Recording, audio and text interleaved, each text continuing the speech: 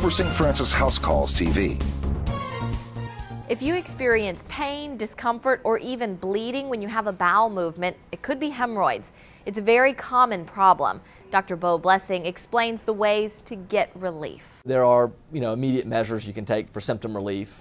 Sitting in a warm tub of water to relax the pelvic floor muscles. There are over-the-counter remedies, Anusol, Preparation H. I see a lot of patients that have them. I'm very conservative about offering surgery. Eating fiber may help prevent hemorrhoids, but bleeding should not be ignored. See a doctor because it could be a sign of something more serious. If they come to the doctor within 24 to 48 hours, you can actually incise that external hemorrhoid and remove the clot and relieve the pain. If the hemorrhoid is internal, doctors at Roper St. Francis have other options to treat it.